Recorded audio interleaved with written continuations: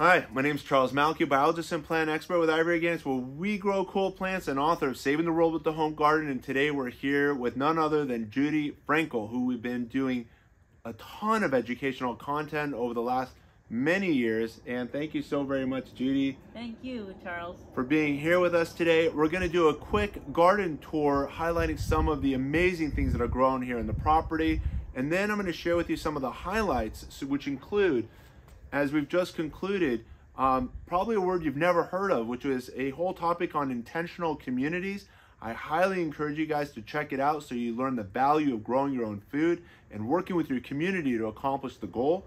We also discussed in the past the impacts of 5G on bees, birds, trees, and people, how gardening can improve your physical and mental health.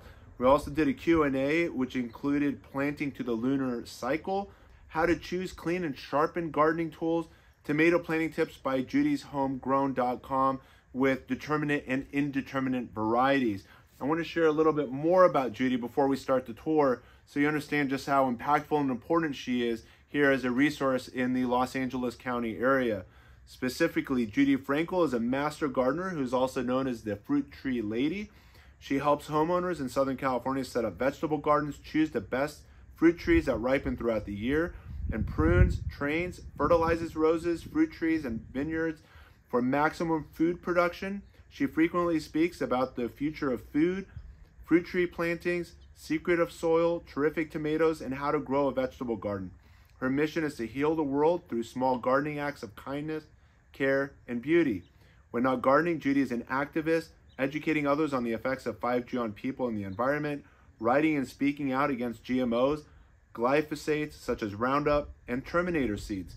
She connects the dots between the use of agricultural herbicides and the rising incidences of neurological and gastrointestinal disorders in the United States. To be connected to Judy Frankel, simply go to judyshomegrown.com. I'm putting that video link in the video description below for your convenience. You can simply hit it and start communicating with her. Any questions or suggestions you have for future content, feel free to write us in the video description below. We'd love to hear from you and where you're at. And um, let's start the garden tour. All right. Let's do it. So here we are next to, it looks like one of your um, several raised beds. Here it is made out of metal. Tell us a little bit about it. Well, I was having problems with all of my raised beds getting uh, gophers to come up and even even really tall ones and they were they were chewing right through the hardware cloth believe it or not. Wow. And they weren't even old hardware cloth. And I put down two layers of hardware cloth. They would jump up over these beds. These beds behind you are, are really short.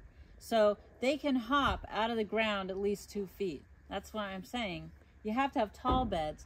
But on top of that, I just decided, okay, how can what is it that they can't get through? So I put cinder block on the bottom of these beds to prevent gophers from coming in. And I know this is like impervious to gophers.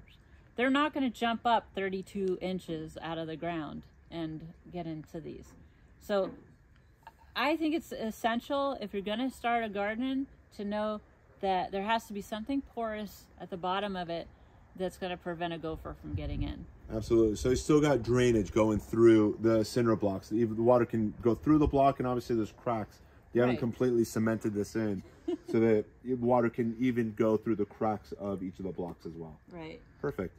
So here we are now on Judy's Homegrown estate on the hillside property using a product known as Dirt Lockers. And when you take a look at the product, you'll see that it's basically helping to shore up and retain the hillside and is helping you maximize the real estate for productivity of food. And um, you said you've increased your real estate by what percent? I would say 30% of my food is grown out here now. So about 30% additional landscape benefit to her homestead with the use of dirt lockers. How awesome is that? So check this out. So you've taken a piece of citrus, you've cut it in half, and your goal is to attract sow bugs. Sow bugs, one, also known as roly-polies. Roly-polies, yeah. And I saw on this bugs. one, you had about like four or five, five of, them, them on there. Yeah. And you just basically, oh, here it is again. So most of you probably know this as roly polies. And she just takes it off to the side and now it's outside of the the bed a little. So this draws the roly-polies or the saw bugs away from your plants Right. and otherwise, so they go for these, um, you know, the tender new growth on your seedling starters. Check out this Hass avocado tree. It's so beautiful. And Charles was here when this thing was burned up by the weather. It was just decimated by some hot weather and maybe I didn't get out here fast enough to water it. Uh, anyway, it's doing amazing.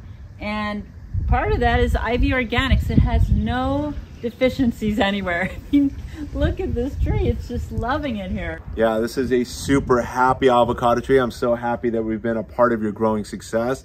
And I'm gonna share with you just a few clips from the past where you'll see where we whitewashed it organically using the IV Organics 3-in-1 plant guard to basically protect your tree from the damaging summer sunburn rays. Um, just like our skin, if we're out laying out at the beach for 14 hours, we're gonna cook. And that's what was happening to this tree before protecting the tree trunk and lower branches.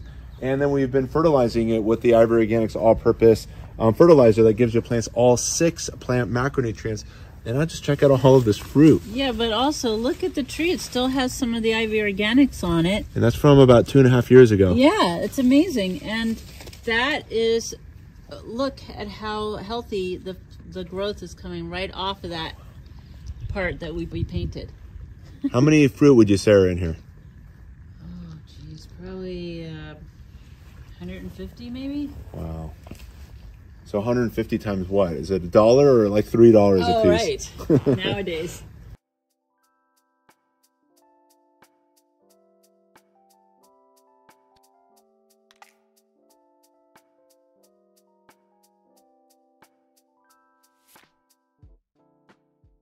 Just spent a few minutes walking around Judy's homegrown estate, and we've got our hands on some Hass avocados, some Reed avocados, sugar snap peas, broccoli, lemons, limes, oranges, and so much more to go. Thank you so very much for having us. We hope this inspires you to grow your own food and get involved within your community as well in growing some food as well. As always, if you found this lesson informative and educational, give us that thumbs up. Share us with your gardening friends and family. I'm also going to be putting the link to judyshomegrown.com in the video description below so you're connected with our dear friend of many years and hopefully you'll continuously be educated and inspired to continuously be your best self and to make this your best growing season year after year. As always, keep growing with IV Organics and wishing you all happy gardening.